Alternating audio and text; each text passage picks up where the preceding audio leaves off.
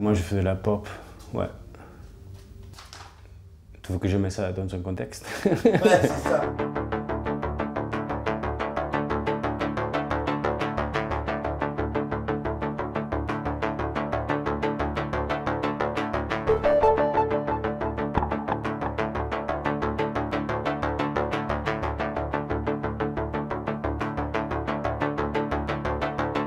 Moi, je m'appelle Marc Meria, euh, j'ai 38 ans et je viens de l'île de Majorque, en Espagne. Moi, j'ai fait de la musique toute ma vie. C'est quelque chose que euh, mes parents, c'est des, profs de musique. Donc, euh, ouais, j'ai grandi avec la, musi- la musique autour de moi. Je suis allé voir des concerts depuis que je suis tout petit. Et j'ai commencé à jouer le piano quand j'avais 7 ans, 8 ans. J'ai commencé à jouer de la musique avec un groupe qui s'appelait El Diablo en el Ojo, un groupe de Majorque, de l'île de, de le diable dans l'œil. c'est un morceau de, de Tindersticks, en fait. Euh, C'était un, groupe un peu euh, à la Tindersticks, Nick Cave, un dans ce genre de- d'histoire. C'était un groupe qu'on a un peu tourné en Espagne, début des, des années 2000. Moi, j'avais 20 ans à ce moment-là. Et après, euh, euh, j'ai commencé à faire de la musique avec une fille autrichienne, avec un groupe qui s'appelait Lonely Drifter Karen. Et avec ce groupe, on a sorti trois disques avec un, la- un label belge qui s'appelle Cram Disc. Et ça, c'était on a fait pas mal de concerts en, Europe, un peu partout. Et c'était, euh, c'est pour ça en fait que moi je suis arrivé en Belgique, que je suis allé habiter en Belgique.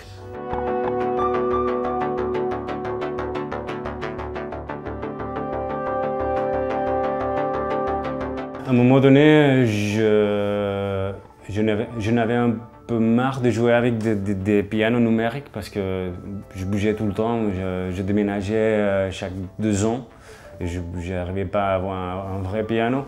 Donc à ce moment-là, je me suis dit, euh, écoute, euh, il faut que je trouve un instrument qui, qui substitue, qui remplace euh, le, piano acoustique. Et c'est pour ça que de quelque manière, je suis arrivé à la musique électronique et je me suis intéressé à, des synthétisateurs. J'étais vraiment intéressé à faire quelque chose avec la musique électronique où il y avait un, lien entre le jet, entre le jet musical de ce que moi je, suis en train de faire et ce qui sonne.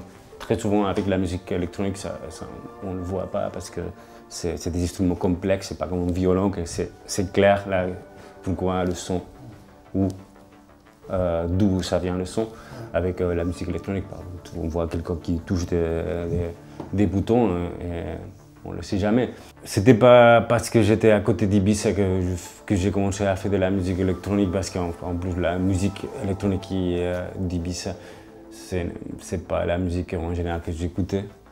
Peu- C'est plutôt, comme on le sait bien, c'est un truc plutôt clap avec de 5000 personnes. Moi, je n'étais pas, j'étais pas envie de faire ce genre de musique électronique. En plus, la musique que moi je fais, il n'y a pas de beat. Donc c'est c'est une musique plutôt plano.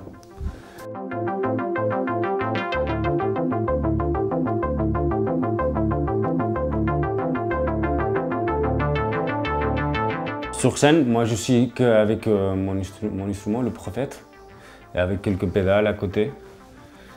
Mais très simple.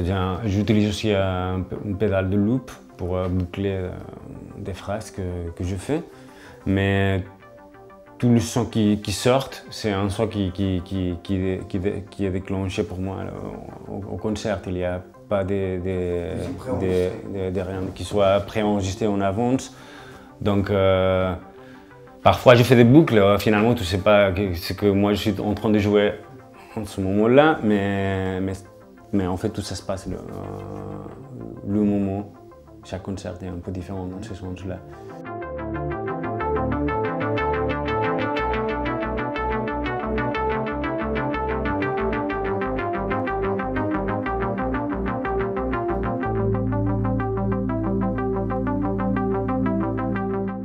Dans les, semaines qui, viennent, qui arrivent, euh, je vais, j'ai pas mal de concerts en France, quelques concerts aussi dehors la France, en Belgique, en Suisse, en, Italie. J'ai sorti mon disque sur, le label de Flavien Berger, les disques du Festival Permanent. J'avais fait sa première partie à Liège, on s'est connus euh, après le concert, il a beaucoup aimé mon, concert, donc il a décidé de sortir, de sortir mon disque. Donc là, donc je vais faire quelques concerts avec lui aussi. Après, pour, pour ce, qui, arrive, j'aimerais bien encore aller plus loin un peu avec le fait de faire une musique qui soit simple, qui soit